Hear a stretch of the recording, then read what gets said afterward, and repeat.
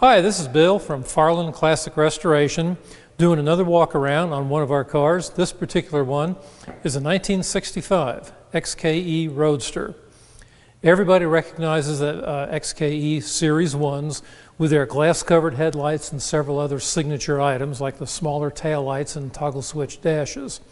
This particular one was the first year of the later part of the first series, meaning it has the 4.2 liter motor, Synchromesh first gear, and more comfortable seats. We have the uh, Jaguar Heritage certificate for this car that confirms that it was uh, sold new in the US, so it's a full US spec car. Uh, the color, opalescent maroon, was the car's original color, and all the black soft trim. So that is as the car was built. We've also confirmed that the chassis, the block, the cylinder head, all of the numbers are matching as everyone likes. So we have a genuine car here. it's had a two restorations during its life. The most recent one was about 10 years ago, but you can see the car still looks exceptionally good.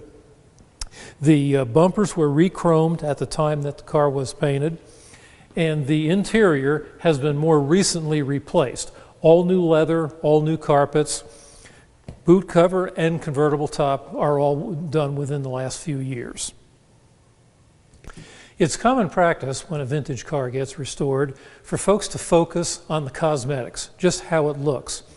This particular car, like most really good restorations, did that of course, but also paid particular attention to how it worked. Things like when the interior was being redone, the instruments were sent out to be cleaned, adjusted, lubricated. All of that works. In fact, this is the only XKE of my experience where the clock actually works and keeps good time. You can see it has the correct wood rim steering wheel in it and even still has its original old style Blaupunkt radio. There's been no holes cut in door panels to stick in extra speakers or any other kind of aftermarket stuff. Speaking of making the car operate as well as it looks, let's look under here where the motor is. It really does make things operate.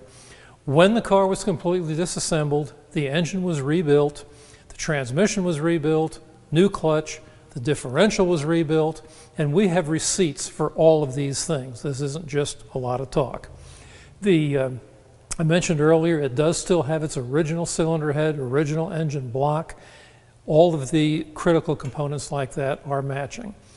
And make sure that you pay attention to the beautiful porcelain finish on those exhaust manifolds. Usually with these cars with use, that porcelain cracks and flakes off and they look rusty.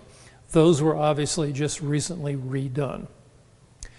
One of the best attributes of this car is the collection that it has been in for the last 10 years. The car saw very little use.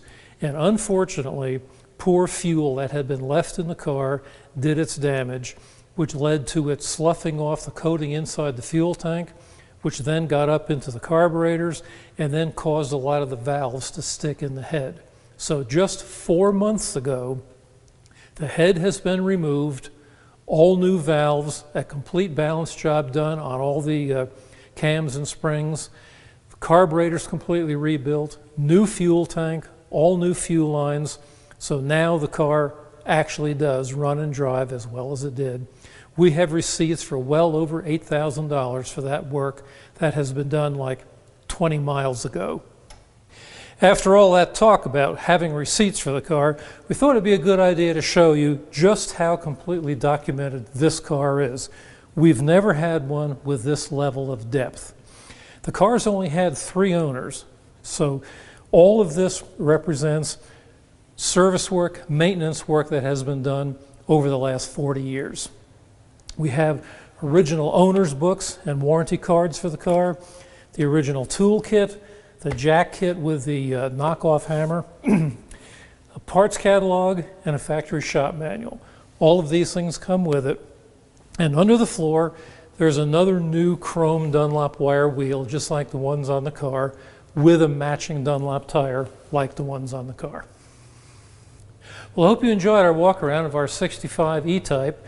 If you have any questions, we'd certainly love to hear from you. We've enjoyed presenting the car to you, and just as a reminder, it's the only one you'll find anywhere with a functioning clock and a genuine Austin Powers Union Jack car cover that comes with the car. Thank you.